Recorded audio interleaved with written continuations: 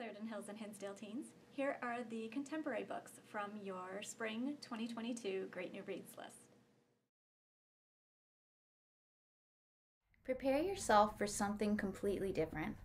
This is Ain't Burned All the Bright by Jason Reynolds and illustrated by Jason Griffin. This book is a mashup of art and poetry.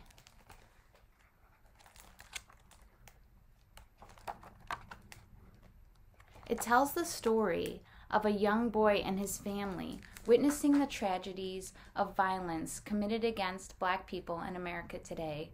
A family living through the pandemic and the violence, the racism, and the protests that we have watched on our television screens over the last few years. This is more than a book. It's a look through a window at one family's experience, and it's an incredible work of art. In Indivisible, siblings Mateo and Sophie have always lived in fear of their undocumented parents getting deported back to Mexico. But over the years, that fear faded into the background. Their parents had lived in the United States for years now and ran a small grocery store. However, Mateo's world is rocked one day when he comes home to find out that ICE has taken his parents.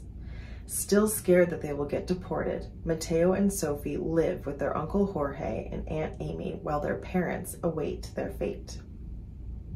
But Mateo doesn't feel entirely comfortable living under their roof. If only he could tell his best friends Adam and Kimmy about this. But he can't tell them what's going on.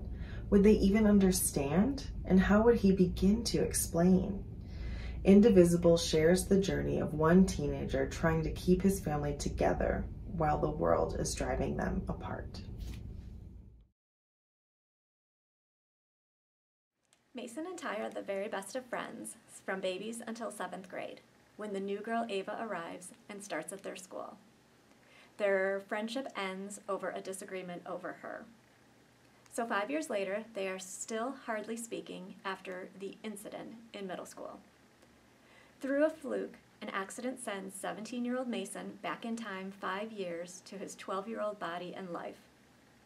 Given the opportunity for a do over, he seeks to right wrongs as well as try new things that maybe could alter the bad things that happened during his middle school years. But can he really change the future by making different choices? The narration alternates between Mason at ages 12 and 17. This is a fun and easy read about friendship filled with humor.